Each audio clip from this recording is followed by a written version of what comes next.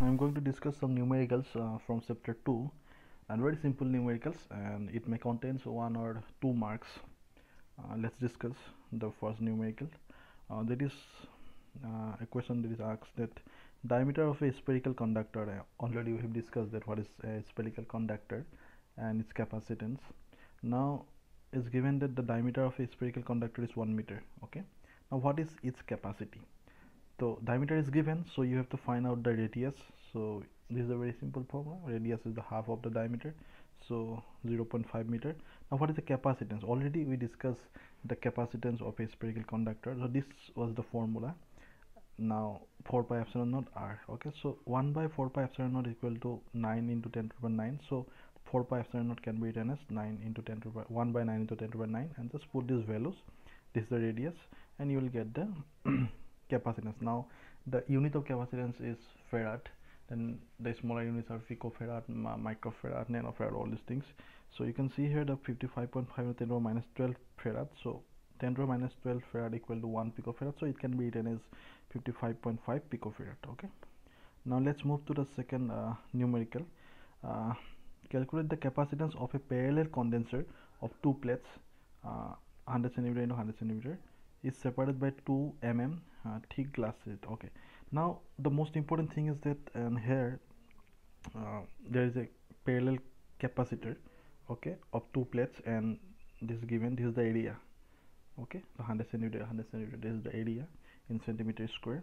Now in between the uh, plates a glass sheet is placed of thickness 2 mm. So it's look like that there is no vacuum or air in between the plates. So তাৰ ভিতৰত কি আছে তোমাৰ? Glass seat আছে।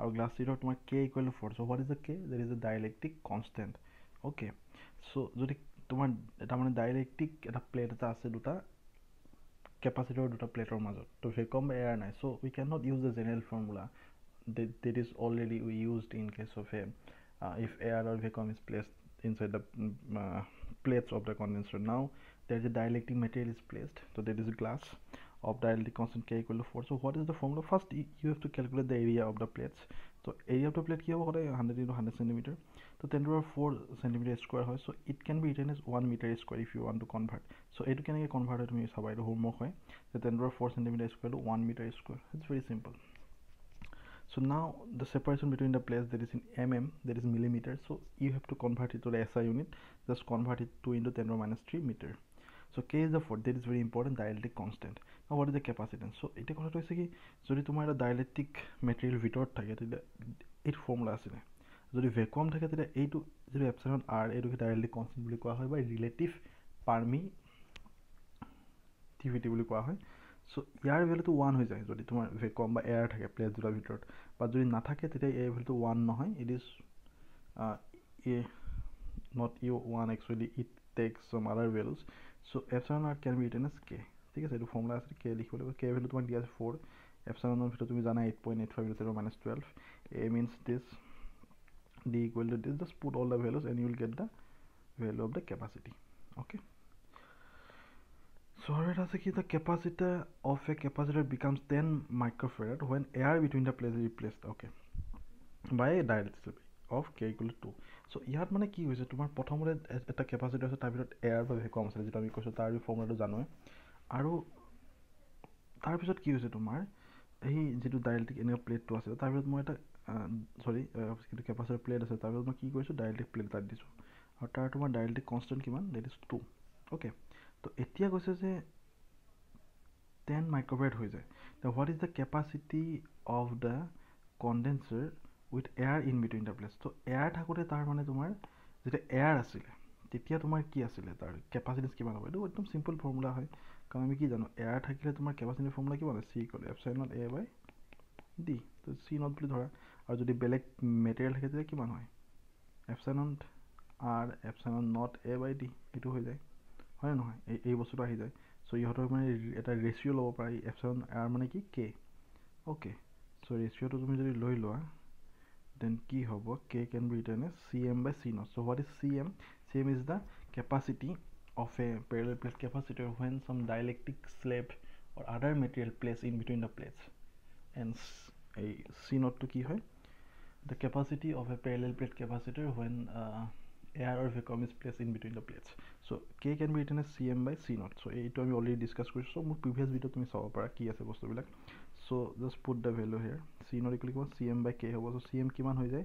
Ten মাইক্ৰ'ফেৰাট যদি directive স্লেপটো মই দি দিওঁ কে value two দিয়া আছে। চ' যেতিয়া এয়াৰ থাকে তেতিয়া কিমান হ'ব? কেপাচিটি সেইটো উলিয়াব দিছে। So' you have to find out the value of C naught that is five microfarad okay so' now ইয়াত কি আছে? থ্ৰী কেপাচিটাৰ্ছ তিনিটা কেপাচিটাৰ আছে one microfarad two microfarad and three microfarad are joined in series so how many times will the capacity become when they are joined in parallel?